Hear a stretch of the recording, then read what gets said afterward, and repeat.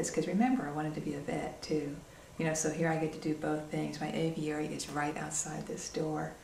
But it is so rewarding to me to see the personality of different species of birds and and to have it validate the stories that tribal people tell about birds.